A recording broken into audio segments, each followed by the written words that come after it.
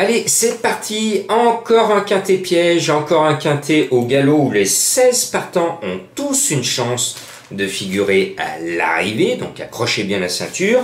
Alors, je tente quand même de privilégier aujourd'hui les chevaux du bas du tableau, il me semble bien, bien placés sur l'échelle du handicapeur, notamment euh, Christophe Soumillon, qui ne s'y trompe pas, il étincelle sur le 12 Breté, c'est un cheval de toute beauté, il vient de gagner sur une longue distance, attention, hein, 2500 euh, mètres aujourd'hui, le cheval vient de gagner sur 3000, donc il a aucun problème pour tenir la distance, à la limite la distance serait un peu trop courte. Bon, il y a toujours un problème avec les, les, les il y a toujours un truc qui va pas. Bon, normalement ça sent la gagne avec Christophe Soumillon. Et puis le 13, Morning 5, est un cheval que j'aime bien, que j'ai repéré dans mes jumelles, et je pense qu'à ce poids, il a une toute, toute première chance. Et puis après, on va mettre le cheval de Madame Colombo. Alors, je vous avais prévenu hein, euh, que son Crazy, c'était un peu fou euh, de jouer, mais bon, elle avait insisté, et Crazy, ben, il n'est pas à l'arrivée. Mais précédemment, vous avez vu que Madame Colombo était en grande forme avec de belles cotes. Eh bien, c'est Pepperbird,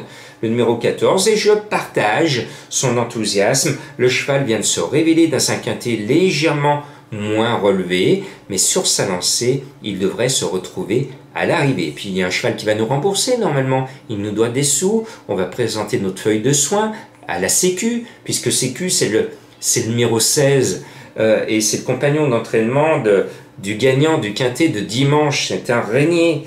Euh, de ce 16 sécu a été malheureux comme le gagnant de, de dimanche au compagnon de boxe, il pourrait suivre le même scénario et prendre une éclatante revanche parce que le handicapeur lui donne la course. Il a la pointure d'un quintet, à ce poids, il lui donne la course.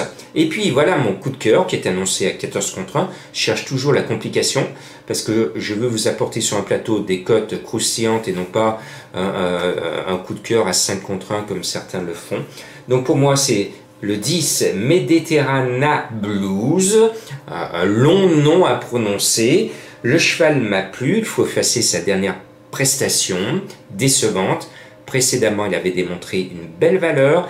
Il a quelques lignes, même si ses chevaux ont peu couru, se sont peu entrecroisés. J'ai quand même découvert des choses intéressantes dans son papier qui me conduisent à le vous conseiller en coup de cœur. Et puis, il y en a un autre qui nous doit des sous, c'est Stéphane Pasquier. Il est très très décevant actuellement dans les quintés. Monsieur Quintet a oublié son titre de Monsieur Quintet. Euh, il pilote le 5 Blue Swan. Alors il y a deux Barbereaux et on l'a vu avec euh, Pomme d'amour, avec les trois Rossi. C'est le tocard des trois qui, qui figure à, l'arrivée. Alors j'espère que cette fois ce n'est pas le tocard des Barbereaux, le 15 qui, qui, qui, va être là. Moi je pense que le, le 5 est, est mieux que le 15 mais les deux ont une chance pour, puisque la course est visée par les deux, par le même entraîneur. Et puis le 3 au 1000 est, tout neuf, euh, tout beau, tout chaud, troisième, premier, troisième en trois courses, rien à lui reprocher. Mademoiselle Voitel est assez confiante, attention à lui. Et puis, j'ai failli ne pas le mettre parce qu'il y a un gros doute sur sa tenue. Sous les nuages, qui est le gros favori à 5 contre 1, il n'est jamais allé sur 2005. Il a une surcharge au poids, il a tiré le numéro 16 à la corde.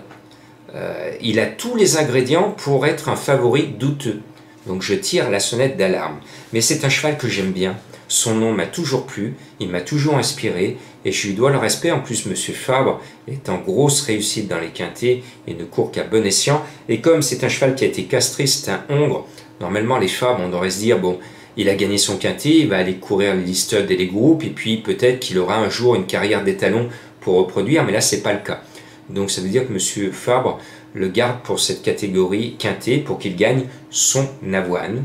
Voilà, vous savez tout. J'ai un gros gros regret, c'est Arus le 9 que je n'ai pas pu mettre sur mon ticket. Si vous avez un peu de place sur les vôtres, eh bien glissez-le. Bonne chance